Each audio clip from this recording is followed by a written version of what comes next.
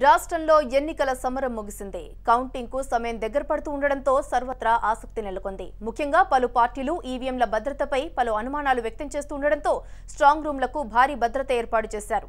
నిజామాబాద్ జిల్లాలోని ఈవీఎం భద్రతా ఏర్పాట్ల గురించి మరింత తాజా సమాచారం మా రిపోర్టర్ కిషోర్ అందిస్తారు.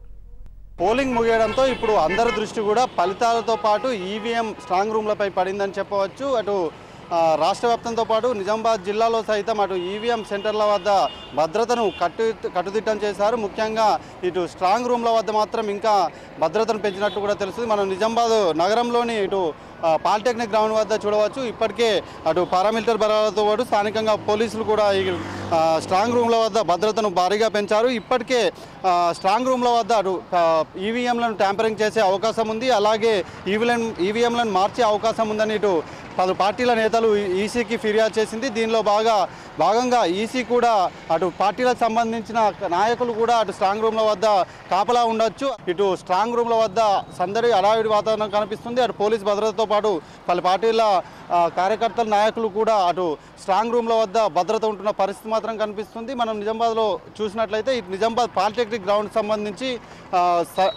పదకొండవ తేదీ ఉదయం కౌంటింగ్ సంబంధించి అన్ని ఏర్పాట్లు సిద్ధం చేశారు. ఇప్పటికే నిజామాబాద్ సంబంధించిన ఆరు కాన్స్టిట్యున్సీలు నిజామాబాద్ అర్బన్ రూరల్ ఆర్మూర్ బాల్కొండ బోధన్ బాన్స్వాడకు సంబంధించి నిజామాబాద్ పాలిటెక్నిక్ గ్రౌండ్లో కౌంటింగ్ నిర్వహించనున్నారు. అలాగే అటు కామారెడ్డికి సంబంధించి ఏఎంసీ గోదాంలో కామారెడ్డి ఎల్లారెడ్డి జుక్కలకు సంబంధించిన కౌంటింగ్ కామారెడ్డిలో జరగనుంది. అయితే దీనికి సంబంధించి మాత్రం పూర్తి ఏర్పాటు కూడా చేశారు.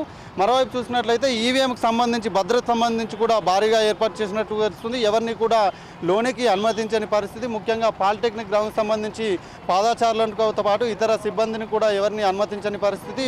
పదకొండవ తేదీ వరకు కూడా ఇలాంటి పరిస్థితి ఉంటుందని అటు అధికారులు చెప్తున్న పరిస్థితి మాత్రం కనిపిస్తుంది. మరోవైపు చూసినట్లయితే అటు జిల్లాలో ఈసారి గతంలో కంటే ఈసారి ఎక్కువగా పోలింగ్ శాతం నమోదవడం పట్ల అటు అభ్యర్థుల్లో కూడా అటు అయోమయ పరిస్థితి నెలకొంది. గతంలో కంటే ఈసారి డెబ్బై ఆరు శాతం పోలింగ్ నమోదైనట్లు కూడా అటు అధికారులు చెబుతున్నారు. అయితే ఈసారి తమ ఎవరు గెలుస్తారనే దానిపై సర్వత్రా ఆసక్తి నెలకొందని చెప్పవచ్చు. దీనికి తోడు అటు బెట్టింగ్ రాయిలు సైతం ఈ ఎన్నికల పోలింగ్ సంబంధించి అలాగే కౌంటింగ్ సంబంధించి కూడా బెట్టింగ్ మొదలైందన్నట్టు వార్తలు వినిపిస్తున్నాయి. అటు మహారాష్ట్ర సంబంధించి ఏపీకి సంబంధించిన ముఖ్యమైన బెట్టింగ్ రాయిలు ఇటు నిజామాబాద్ జిల్లాకు సంబంధించి సరిహద్దుకు సంబంధించి చేరుకొని ఇటు త్రిముఖ పోటీతో పాటు అలాగే ప్రధానంగా పలు చోట్ల టీఆర్ఎస్ కాంగ్రెస్ సంబంధించి అభ్యర్థులు ప్రధానమైన అభ్యర్థులు ఉన్న చోట్ల బెట్టింగ్ కూడా కాస్తున్నట్టు తెలుస్తుంది. అటు ఐదు వేల నుంచి ఐదు లక్షల వరకు ఈ బెట్టింగ్ కాస్తున్నట్లు కూడా వార్తలు ఊహాగానాలు కూడా వినిపిస్తున్నాయి.